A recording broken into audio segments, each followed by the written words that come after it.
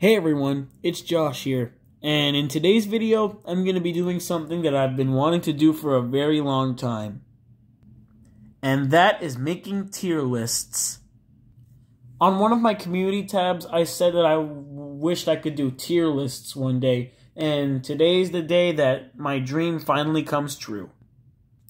So yeah, I've just seen like lots of tier lists videos on YouTube, and I was like, hey, these are pretty cool, I do want to try them out for myself. So I went to the tier maker website where you guys can definitely check it out and make your own tier lists there and post them on your YouTube channel or just show them to whoever you want to. And yeah, I told you guys that I was going to be doing tier lists one day and y'all seem to have liked the idea, especially when I made that video where I asked you guys what you want me to make on the channel. So tier lists is a start. But anyway, let's get into the video. So for today's tier lists, we are going to be ranking all of the 3D Super Mario games. And yeah, if you're a huge Mario fan like me, I you you've definitely taken the time to complete every 3D Mario game that has released very thoroughly. Cause me being one of those people that have played every 3D Mario game and 100%ed all of them completely, yeah, I've been wanting to do this for a very long time and give you all my thoughts on these awesome 3D Mario games.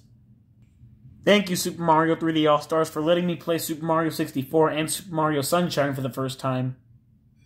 Alright, y'all, so with no further ado, let's begin this tier list.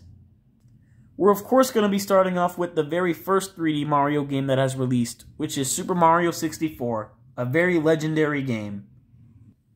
Alright, I'm pretty sure everyone in the Mario community has to at least played this game once. 64 is just one of those games that has definitely remained re definitely remained in Nintendo's library as of course one of their best masterpieces. I mean, this game is so iconic at this point. It's one of the best video games of all time. I mean, come on, you can't go wrong with Super Mario 64. I mean, it has so many great levels, great characters, great soundtrack. Yeah, pretty much everything about this game is great. I love Super Mario 64. And sure, some might say that this game hasn't really aged well, but does it really matter? I mean, just because, like, you know, I mean, it was, of course, back in 19, 1996, and yeah, it was, like I said, it was Mario's first ever 3D game, and it was just a really great retcon, a great rendition of the Mario series. Like, it was just a great transition from 2D to 3D with Mario. As a matter of fact, if it wasn't for this game, we wouldn't even have the So Long Gay Bowser meme, which is still being used to this day. Now I kind of see why people were upset that they got rid of it in Super Mario 3D All-Stars. And yeah, overall, there's not really anything bad I can say about this game. I mean, it's really perfect. And yeah, even though when you progress through the game and just try to like get all the power stars, well, good luck with that, by the way. Things will definitely be a challenge, and it certainly won't be easy getting all the power stars. And yeah, I can't believe I actually took the time to get them all. Especially with the fact that you have to get 100 coins in every level to get a star from that. Although, if I am being honest, I'm not really a big fan of Rainbow Ride. Yeah, if I'm being honest, Rainbow Ride is just a really insane level. But yeah, much like all the other Mario games, this is one you should definitely come back to every now and then just to experience the fun that it definitely has going for it. And yeah, while Super Mario 64 may not be 100% perfect, it certainly is like 95% perfect. So yeah, I'm gonna have to put this bad boy on 8, wait, no, not C.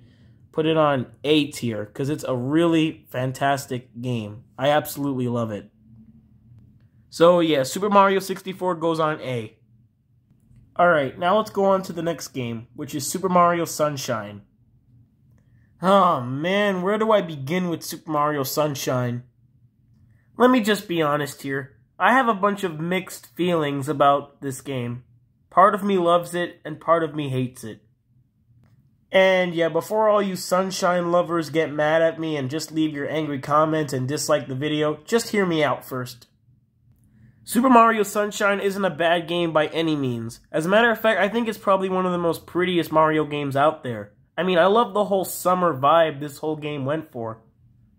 They basically took everything we loved about Super Mario 64 and just basically put it all in here. but I feel some of the bad stuff from Super Mario 64, they kind of did a little bit too much here. I mean, for real, this game gets challenging and challenging at every level you go after a level. Don't even get me started on these mid subsections where you just have to do a bunch of platforming without FLUDD. It's just a real pain in the butt. And yeah, I get it. The game is supposed to get difficult as you go, but I feel it's just not really done correctly or fairly here in a way. And yeah, even those missions where you have to go around chasing Shadow Mario are just way too quick and boring, I'll be honest.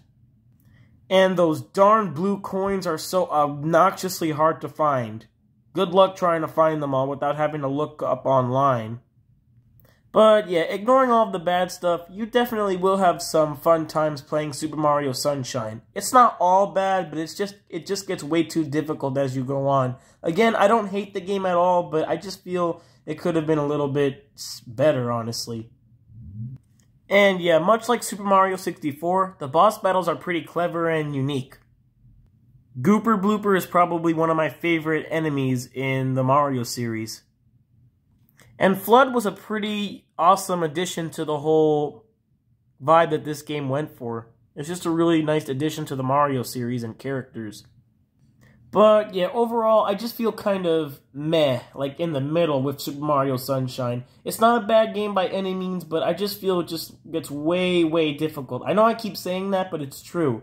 And the game is not, of course, perfect, but and it's probably not like like a 100% Mario game I would definitely recommend, but you should definitely give it a try. I mean, if you're curious and all. So yeah, I'm sorry to do this, but I'm gonna have to put Super Mario Sunshine on D. And yeah, the game isn't perfect, and it's it's not bad, but it's just not like as good either. Sorry for all you Sunshine fans who are mad at me, but everyone's entitled to their own opinion, right? Up next is Super Mario 64 DS. Yeah, a lot of people, including me, are definitely gonna get nostalgia for this game. If you ask me, I think this version of the Super Mario 64 is much, much better than the original. And yeah, I'm pretty sure that's not much of an opinion, but whatever. I had just as much fun with this game as the original back then when I was little. I think this game actually fixed almost all of the issues that the original Super Mario 64 game had. For one, they enhanced the graphics, you can play as more characters, and they even had you collect 30 more stars. In the original game, there were a total of 120 power stars. But now, in this version, there are 150 power stars. So this game especially has tons of replay values.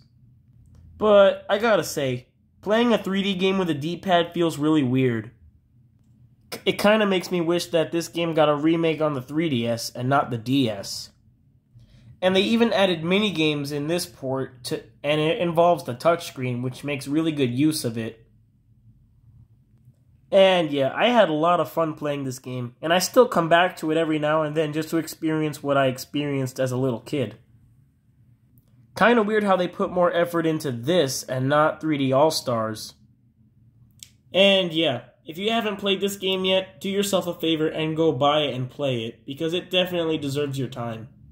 You will have a blast with Super Mario 64 DS. So, Super Mario 64 DS is to go on a. Because it's pretty decent, and of course, it's close to the original. Next up is Super Mario Galaxy, the legendary game. Oh my gosh. I remember watching the very first trailer for the game on YouTube back when I was a toddler. And this just, that trailer just made me really excited to play this game. I swear, every time I play Super Mario Galaxy, it just leaves a huge smile on my face. If you ask me, this game has aged surprisingly well, and it still holds up even today. I mean, this game is really just out of this world. Yeah, you could sue me for that bad pun. Just all of the different planets that you can explore throughout this game is just incredible. Of course, Super Mario Galaxy has plenty of crazy physics, like just of just how you just bounce around the whole planet and stuff. It's actually pretty fun and like not at all in like a pain. I mean, it is slightly a pain, but it's just kind of fun at the same time. And Rosalina is by far one of the best Mario characters out there. I mean, she's literally the goddess of the cosmos. Galaxy also had an interesting line of power ups, like the Bee Mushroom, which is probably one of my favorite power ups in the Mario series. I mean, come on, you can't go wrong with this game. Super Mario Galaxy is a really beautiful game, and no one can disagree. And this was, of course, one of the first few games that released for the Wii. And they really took advantage of the Wii's hardware with the, like the controls and such. And of course, we cannot forget about the marvelous soundtrack that this game has going for it. I mean, it's they literally got a whole orchestra to play the soundtrack for this game. It's just awesome. Like I've literally listened to the main theme of Galaxy all my life. And all the boss battles that Super Mario Galaxy had, they're just absolutely insane. Like, especially this boss right here, Mega Leg. I swear, Nintendo really went all out with this game, and there's really not any other Mario game out there quite like it. I'm gonna put Super Mario Galaxy on A with Super Mario 64 and Super Mario 64 DS, because it definitely deserves to be there. Next, we have Super Mario Galaxy 2. I swear, Nintendo really went all out when they made the Galaxy games.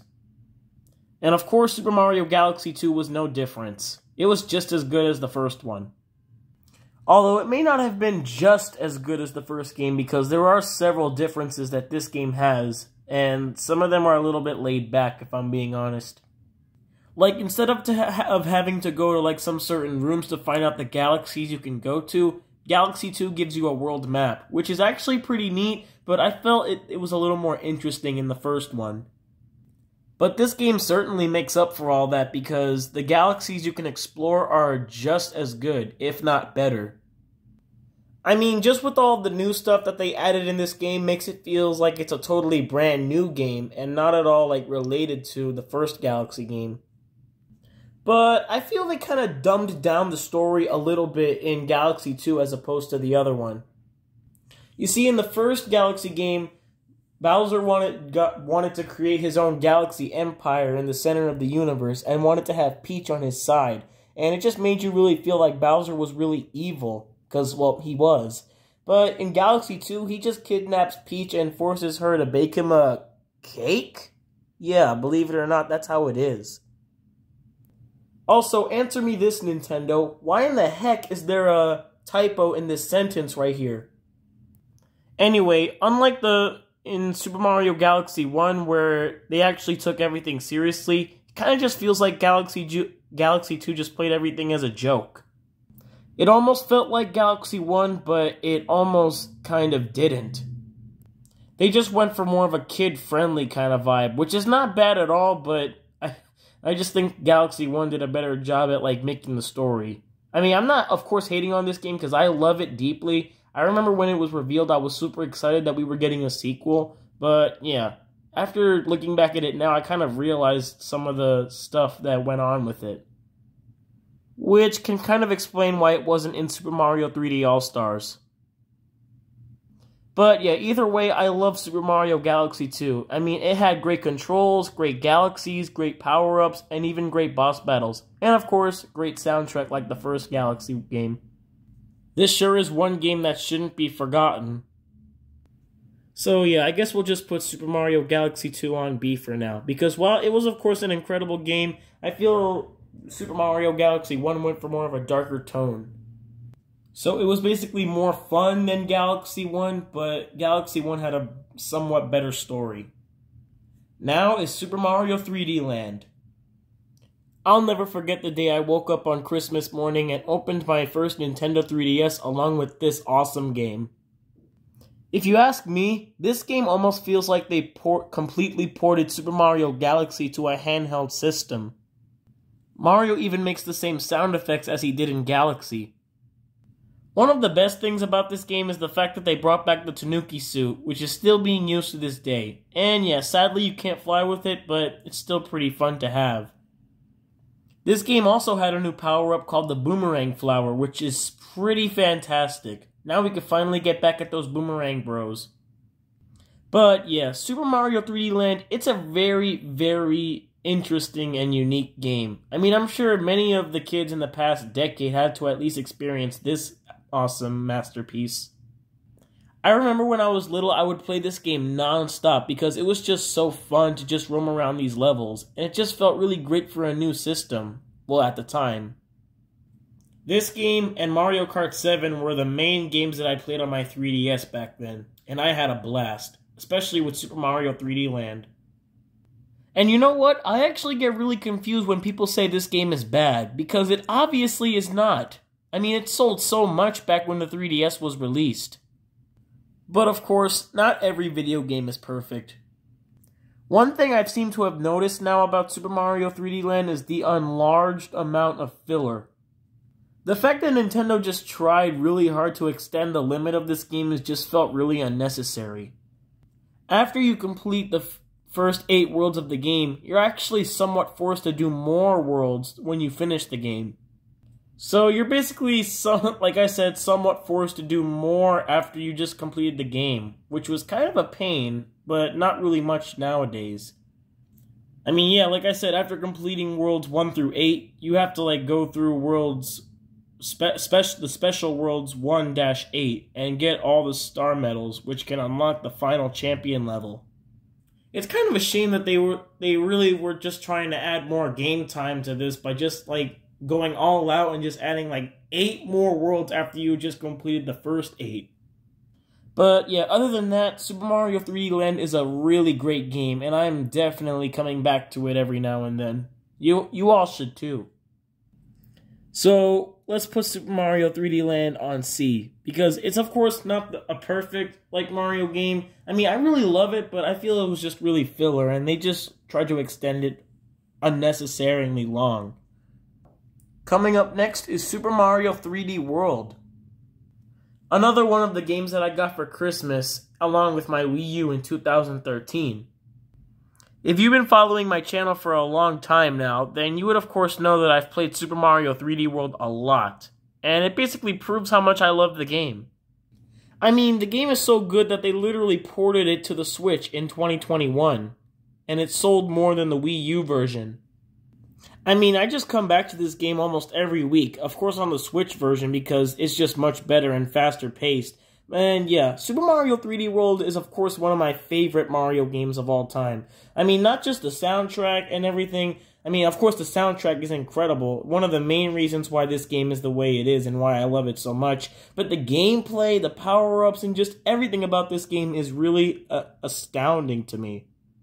I mean, this was the very first game to introduce the cat bell, which is of which is probably one of the best power-ups in in Mario history. I mean, you're literally a cat. What's better than that?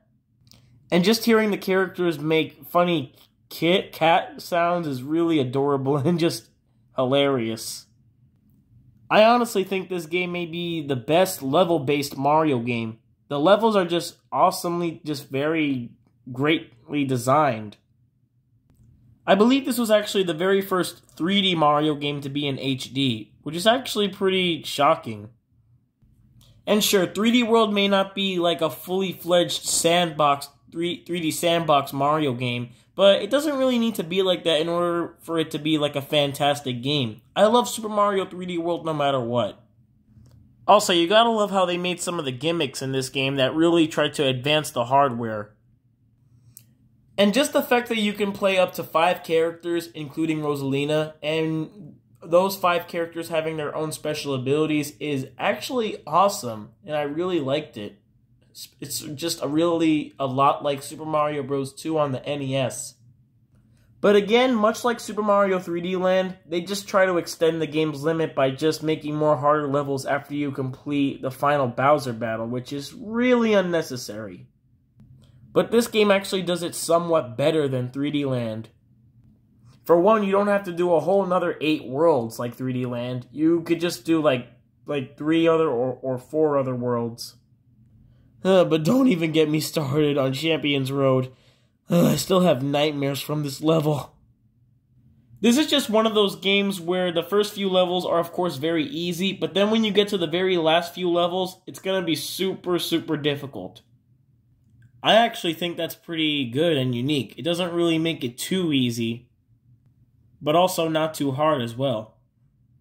And the boss battles in this game are way better than 3D Land. At least here they're actually very original and not just boom boom and pom pom over and over again. So I'm going to put Super Mario 3D World on B with Super Mario Galaxy 2. Because while it's better than its predecessor, 3D Land, it's just not as good as Galaxy. Next up is the one and only Super Mario Odyssey. Do I really need an introduction for this? Because y'all know Super Mario Odyssey is my favorite game of all time. I think it's pretty much the ultimate Mario game.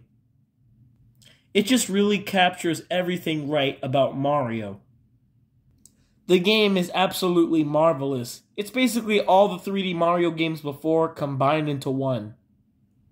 Although, if you guys want my full thoughts and opinions of Super Mario Odyssey, then you guys can watch that video I made called Why I Love Super Mario Odyssey that I made about a few months ago. I'll leave a link to it in the description, but yeah, I'll just give it in, just give it to you all short on why this game is just an absolute masterpiece to me. Great characters, great soundtrack, great kingdoms, great boss battles, and great abilities. To me, Super Mario Odyssey does not have a single flaw, and it's pretty obvious why I love it so much, and why it's my most favorite Mario game of all time. Even the story is fantastic too, how Bowser try of course kidnaps Peach and forces her to marry him. Yeah, I don't really need much reasoning for this because it's pretty obvious why I'm putting this game on top tier. Nothing will ever stop me from loving Super Mario Odyssey. I freaking love this game so much, and it always will be my number one favorite game of all time. Super Mario Odyssey is going on the tippy tippy top right here. Now, on to the final game Bowser's Fury. Yeah, I know this isn't exactly a full on fledged 3D Mario game, but it just kind of feels like it, don't you think? You know, ever since the release of Super Mario 3D World plus Bowser's Fury, I've been playing the Bowser's Fury add-on mode non-stop. I mean, I'd say I've become pretty attached to it because I, of course, now know where every cat shine is located. That's just one issue that I have with this game. It's just the fact that there's only a hundred cat shines. Like, why is there only a hundred? Why couldn't there have been more to collect? It would have totally added more challenge to it. But yeah, you know, other than that, Bowser's Fury is a pretty decent new game mode for Super Mario 3D World standards. I mean, just the fact that Bowser has completely lost it this time is absolutely insane. And the segments where you fight Fury Bowser as Giga Cat Mario is really, really awesome. I just love doing these battles. I mean, this new adventure mode just has a lot going for it, and it's pretty crazy when you think about it. I mean, Mario and Bowser Jr. teaming up for the first time, what can be weirder and crazier than that? And once again, if I'm being honest, this just really feels a lot like Super Mario 3D World and Super Mario Odyssey combined. Like, my whole Odyssey memory really just screwed me over when I played this new game mode, because it just felt a lot like Odyssey. I just kind of wish there was more stuff to do after you collected all the cat shines because I mean, there's not really that much of a replay value, but you'll it's just really fun to just go back and get like all the cat shines over and over and I've just been playing this nonstop and it's still fun to me. I can't imagine one day they'd be making a Bowser's Fury too, but yeah, let's just not get ahead of ourselves here. And let's not forget the fabulous soundtrack that this new mode has as well. I mean, it was almost basically the same as 3D World, so, and of course 3D World had awesome soundtrack, so it wasn't a surprise that this was gonna have a good soundtrack too. Although if I am, of course, being honest, for the, like, the 500th time in this video, the soundtrack is just, I mean, well, you know, to say the least, I honestly didn't expect it to just have, like, a decent soundtrack. Well, it has a better than decent, because it was just like a new added game mode. But it was Nintendo, so of course they make a great soundtrack for this new game mode. Like I've listened to Scamper Shores and the Fury Bowser theme pretty much for the past year, ever since it was released. Oh yeah, this new game mode is about to be a year old th this month. So yeah, overall, you're gonna have a really great time with Bowser's Fury. So it's I I think it's probably a beginner kind of game, like for one of those few people who have never played a Mario game. Like seriously, what is wrong with them? Even for us players, it's pretty great. I love Bowser's Fury. So now Bowser's Fury is gonna go on B with, of course, its of course original Super Mario 3D World. All right, everyone. Well, that was my 3D Mario tier list. I'd say I've done a pretty decent job on my very first tier list. Of course, this is just a start because I actually do have plans for more tier lists in the future. So yeah, let me know in the comments what you guys think about this. I mean, do you agree with all the fat all the tiers that I put these 3D Mario games on? Do you disagree? Just let me know your opinions in the comments below. Also, let me know in the comments what tier lists on topics that I should make next. But yeah, I might as well end off the video now because I didn't think it was going to be 25 minutes long. I can't imagine anyone actually stayed this long, but if you did, props to you. But yeah, that's pretty much it. So thank you guys for watching this tier list video. Be sure to comment, like, and subscribe for more, and I'll see you guys in my next video. Bye.